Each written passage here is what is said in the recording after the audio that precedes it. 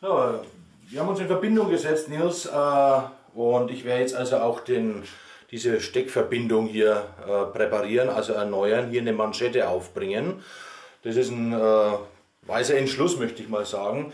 Und wie ich gestern auch schon äh, in der äh, E-Mail angesprochen habe, äh, werde ich jetzt auch noch die drei Ringe von der Spitze, die da, die da dran sind, den einen muss ich sowieso erneuern und die anderen beiden werde ich dann auch gleich in dem Zuge äh, erneuern. Und zwar aus dem Grunde, ich habe mir die also etwas genauer angeschaut, die, da hat der Zahn der Zeit schon ordentlich genagt und man sieht also hier in den Entwicklungen leider schon äh, Sprünge und Risse. Also das muss jetzt nicht unbedingt sein. Die Ringe kann ich mit Sicherheit noch verwenden, die werde ich mir genau unter die Lupe noch nehmen. Und den Vorteil hat, das Ganze sieht wieder in einem Guss aus, äh, denn die Farbe, die damals der Laszlo verwendet hat für, die, für das Bindegarn, werde ich also nicht identisch äh, hinbringen und dann würde bedeuten, dass man hier eine andere Farbe hat als wie bei dem Ring und an der Spitze selber. Jetzt wird erstmal die Stelle hier geschliffen.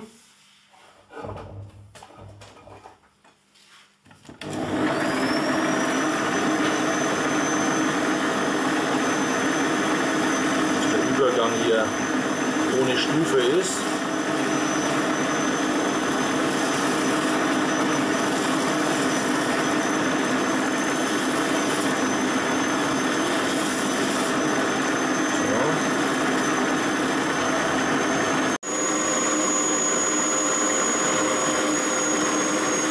ebenfalls auch hier die gesamte Länge der Spitze, weil die wird ja noch lackiert in der Blenkfarbe.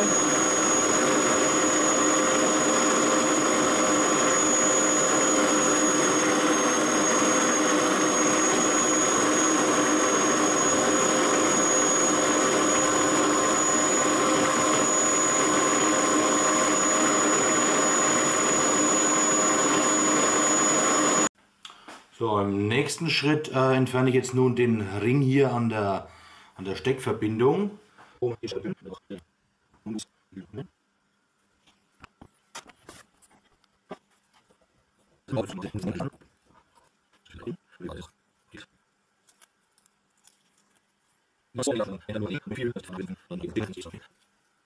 So, und diese Reste, diese Ränder, die entferne ich jetzt mit etwas Wärme kommt da erstmal drauf und dann mit einer abgebrochenen äh, CD.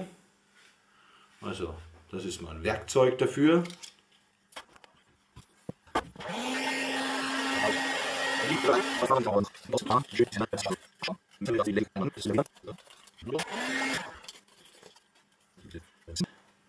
Und jetzt äh, wird hier diese Stelle abgeschliffen und dann kommt da eine äh, Kohlefaser Roving Manschette drauf und wird dann anschließend der Ring noch drauf gewickelt. Hier arbeite ich wieder mit dem, Schleifpapier.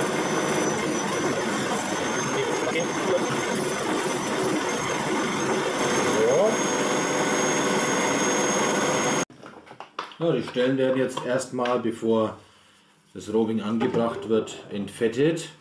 Das passiert mit äh, normalem Spiritus. Also die Stelle jetzt hier, wo der Übergang zur Solitip ist, entfettet und auch hier, wo ich jetzt da geschliffen habe, am Übergang nach unten. Ich habe jetzt bewusst noch nicht hier das abgeschnitten, das mache ich im Anschluss, wenn das Roving, äh, wenn die Manschette angebracht ist hier, dann äh, weil ich ganz zum Schluss, bevor das zum Lackieren geht, äh, die Stelle plan schleifen. So.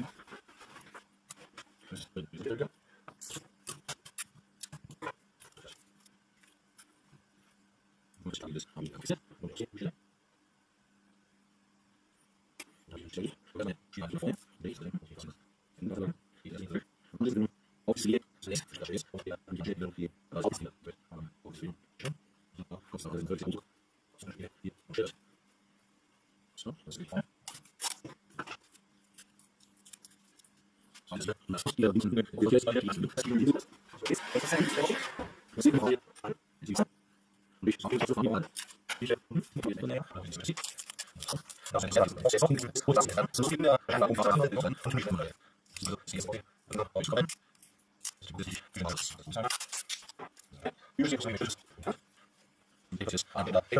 hier.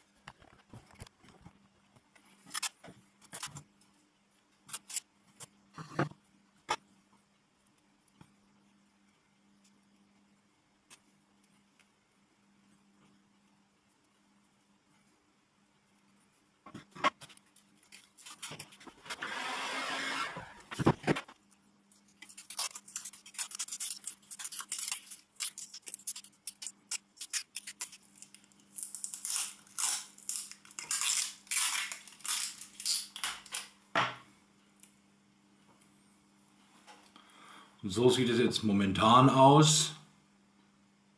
Diese Stelle. Genauso wie die Verbindung hier an der Solitip. Und das kommt jetzt wieder bis heute Nachmittag in den äh, Hitzeofen, damit ich heute Nachmittag dann weiterarbeiten kann dran. Ja, hallo, die Stelle ist nun ausgehärtet. Jetzt ziehe ich das Zellophan ab.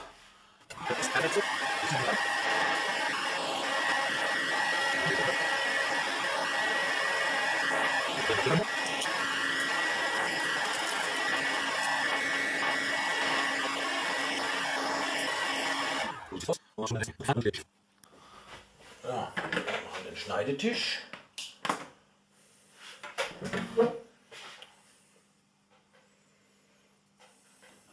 Nimmt ein bisschen Licht her. So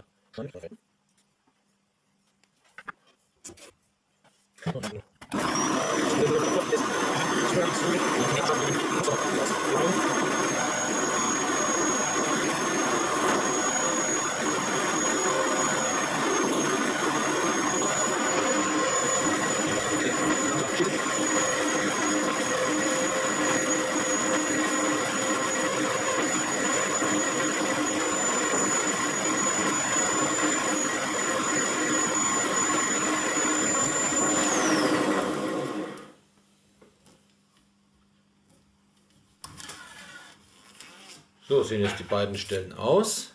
Hier der Übergang zur der, ja, der Übergang hier der, der, die Steckverbindung und hier die Stelle, wo die Solitip eingespleist ist. So, wie besprochen äh, werde ich nun auch die Ringe von der, vom Handteil entfernen.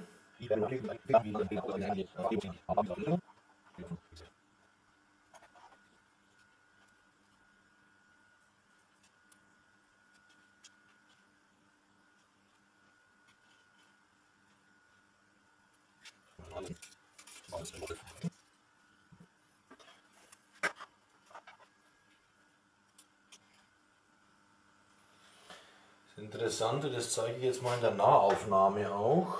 Äh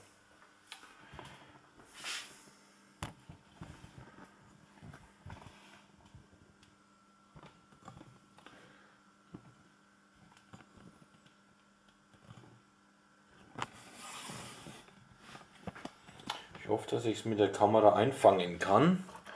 Und zwar, man sieht also hier ähm, an den Enden nicht dieses typische untergezogene an keiner Stelle davon.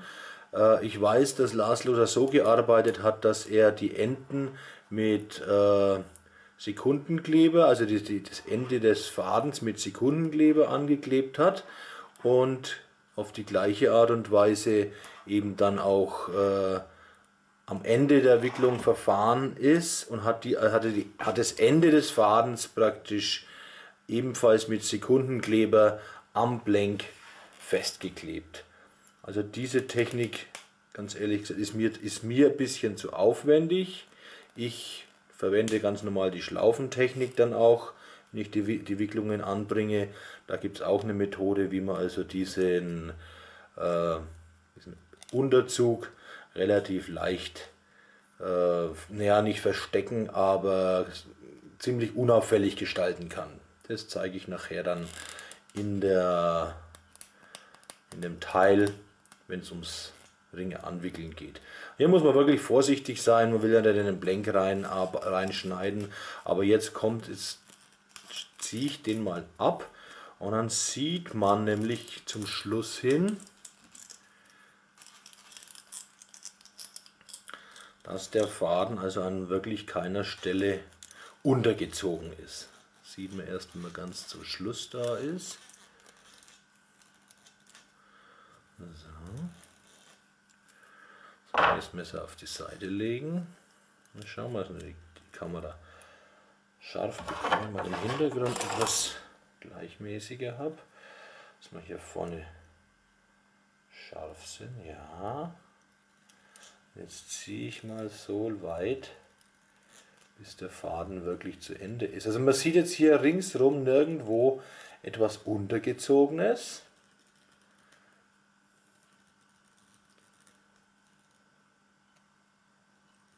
Ist es da doch ein Unterzug?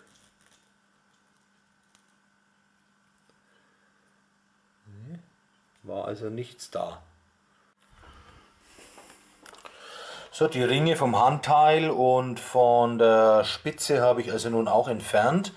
Und was jetzt die Wicklungen angeht, da würde ich jetzt vorschlagen auf alle Fälle, dass man die Originalwicklung, die Zierwicklung oberhalb des Griffes, oberhalb der, äh, unterhalb der Beschriftung so drauf belassen. Und äh, ich halte es mal ein bisschen jetzt ins Licht, ob man das dann ein bisschen besser sieht. Verdammt. Das ist natürlich etwas schwierig jetzt das Ganze zu filmen auch. Aber ich glaube, da kommt es jetzt ganz gut raus. Ich würde nämlich vorschlagen, ich mache die Wicklungen in dem Braunton, also in dem Hellbraun. Das wird durch die äh, Lackierung noch etwas dunkler und dürfte dann den Ton ziemlich genau treffen, den wir hier also an der, an der Zierwicklung auch haben. Äh, wenn das okay ist, dann würde ich morgen damit loslegen. Musst du mir einfach nur Bescheid geben.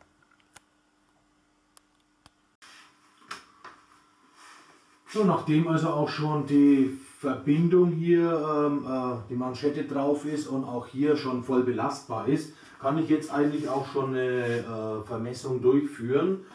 Ganz einfach, ich hänge also jetzt hier das Gewicht zur Bestimmung der Schnurklasse das ist dann der Viertelweg äh, an, den, an das eine Fähnchen, das wir also hier äh, angebracht haben gestern schon. So, das nehme ich also jetzt mal hier dran, bis sich die Spitze runterbiegt auf die auf den Weg, auf den statischen Weg. Dann wiegen wir das ganze Gewicht ab. Barkörnchen brauchen wir noch.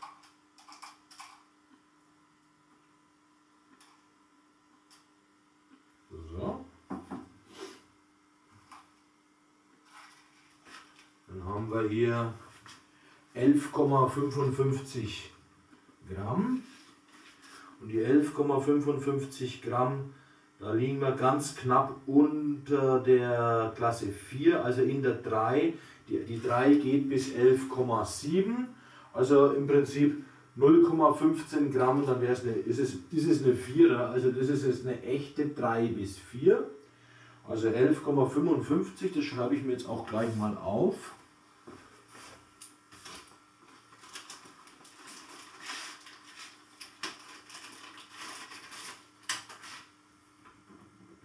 11,55 und der zweite Weg, der geht dann bis ganz runter, die 15, Gramm, äh 15 Grad Weg, also der bei einer normalen, normalen Wurf in der Belastung auch stattfindet.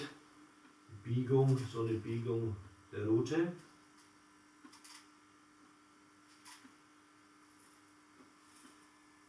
Bis hierhin. Jetzt wiegen wir dieses Gewicht. Also es wird keine sehr schnelle Route sein, das weiß ich jetzt im Vorfeld schon. Da haben wir 53,75 Gramm und jetzt wird dann das höhere Gewicht durch das geringere Gewicht geteilt und dann kommt der Powerfaktor raus. Schauen wir nach.